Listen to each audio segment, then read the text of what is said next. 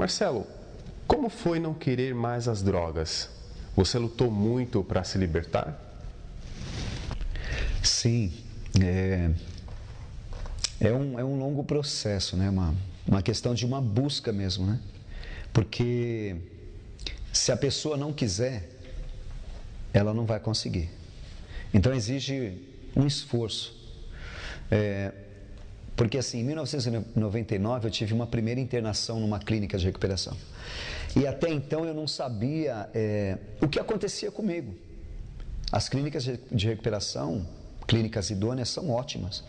Então eu fui entender que eu tinha uma doença, que a minha vida tinha se tornado um problema, que para mim poder reverter essa história dependia muito de mim, de eu saber o que realmente acontecia, de que forma eu poderia proceder, aprender a me recuperar.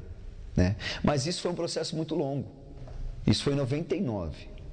É, depois, em 2001, eu já tive uma outra internação, mas essa internação ela era numa clínica evangélica.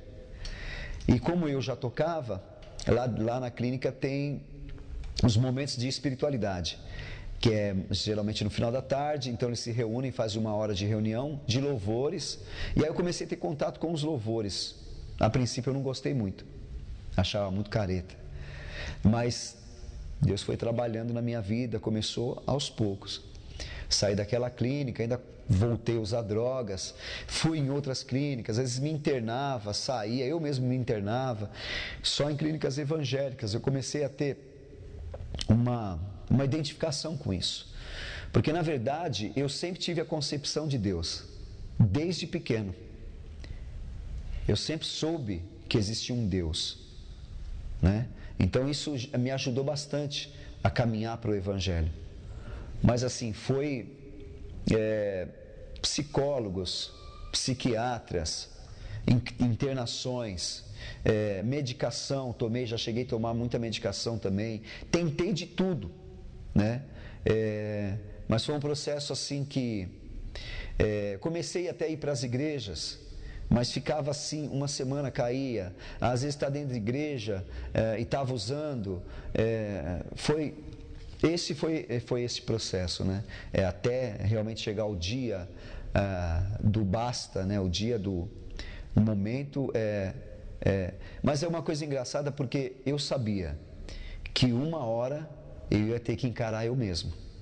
Esse momento parecia que eu fugia dele, porque essa é a realidade de quem usa drogas, de quem tem um problema, independente se é droga ou não. Uma hora você vai ter que encarar você mesmo. Você vai ver o que você tem que fazer para superar essa situação.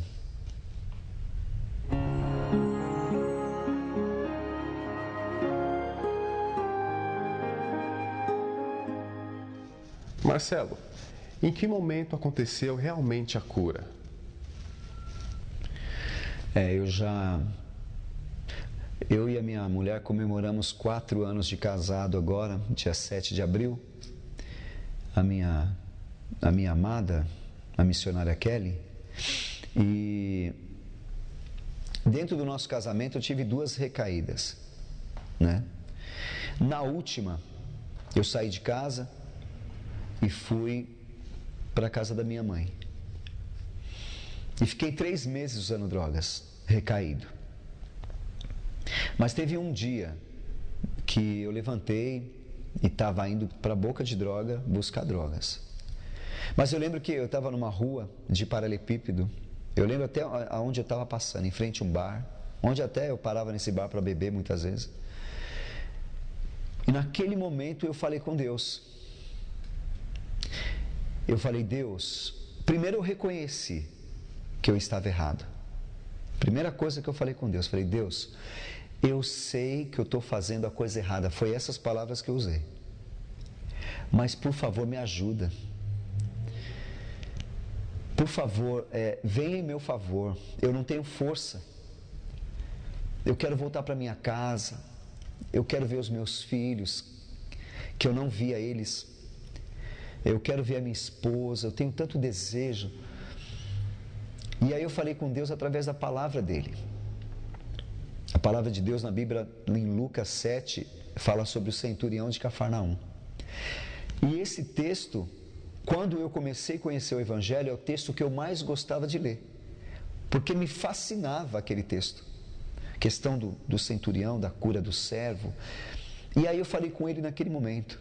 Essa palavra, ela diz ali que existia um centurião que tinha um servo a quem ele muito estimava. Quer dizer, já começa pelo amor. E esse centurião ouviu falar de Jesus. Então ele mandou com que outros servos fossem até Jesus, pedir para que Jesus fosse até a casa do centurião, curar o seu servo. Mas quando Jesus estava vindo no meio do caminho, ele mandou outros servos dizer para Jesus que ele não era digno de que Jesus entrasse em, sua casa, mas que se Jesus dissesse apenas uma palavra, da onde Jesus estivesse, o seu servo seria curado.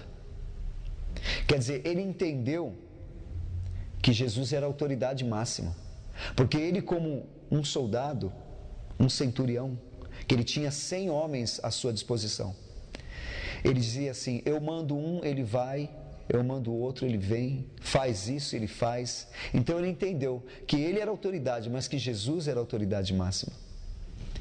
E assim foi feito. Jesus emitiu apenas uma palavra e o servo dele foi curado.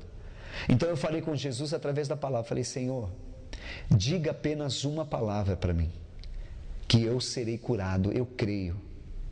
E a partir daquele dia, eu voltei para casa, que eu estava na casa da minha mãe, não saí mais de casa, fiquei 15 dias é, sem sair de casa, comecei a me recuperar. Depois comecei a congregar numa igreja do pastor Jackson, da pastora Dani lá em Mauá. Comecei a louvar ali também, depois de um tempo. É, arrumei um trabalho como manobrista numa churrascaria ali na, na Senador Flacker. E comecei, comprei meu violão, porque eu não tinha nem roupa. Quando eu, quando eu parei, que, que Jesus realmente entrou com, com providência ali, eu não, eu não tinha roupa para vestir, porque eu vendia tudo que eu tinha. Né? E aí eu comecei gradativamente a recuperar é, as coisas que eu tinha perdido. Então comprei um violão, comprei um celular, comecei a conversar com a minha esposa novamente, ligava para ela, falava não, eu tô, tô ficando bem, né, me aceita de volta. Mas isso foi um processo, né? As coisas não acontecem assim da noite para o dia.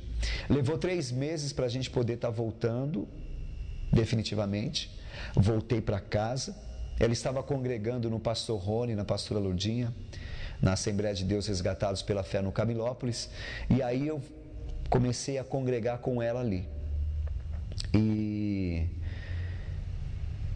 na verdade, a gente chegou ali na igreja e os pastores nos ajudaram muito.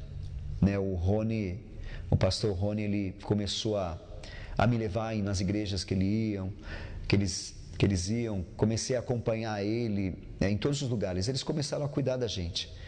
Né? E eu me dispus a isso também, né? É, a gente viajava bastante para fazer a obra. É, eles iam fazer oração em casa. Então, assim, eles né, foram muito importantes nesse processo e são até hoje né, nas nossas vidas. Mas eu vou falar para você, Walter, que não foi fácil. Né? Hoje eu estou há três anos liberto, sem usar drogas. Mas eu tive crises nesse tempo. Né? É, tive uma primeira crise aí, opressão. Tem a questão da fissura, que para dependência química é, eu posso parar de usar drogas, mas ainda isso, aquilo está registrado na mente, está no psicológico, está no corpo. Então é, não é eu que desejo, é, aquilo vem, aquilo estava em mim ainda, né? Então, com seis meses eu tive uma crise, mas eu fiz algo que eu não fazia. Eu pedi ajuda. Né? Pedi ajuda para o pastor Rony, para a pastora Ludinha, começamos uma campanha em casa. E aí passou. E depois eu fui ter uma outra crise com nove meses, né? mas essa foi mais forte. Né? Essa eu lembro que eu levantei, é, começou a me dar dor de barriga, eu não conseguia comer, meus pensamentos ficaram confusos. Eu peguei o carro, comecei a andar em volta dos quarteirão, não conseguia parar em lugar nenhum. Eu tinha uma igreja duas horas para ir com a pastora Lourdinha e ela estava me esperando e eu não conseguia ir até ela. E eu ficava andando, não conseguia parar o carro, ia andando, ia andando, ia andando. Chegou uma hora que eu falei: não, eu tenho que ir lá, porque se eu não for, eu vou usar droga de novo.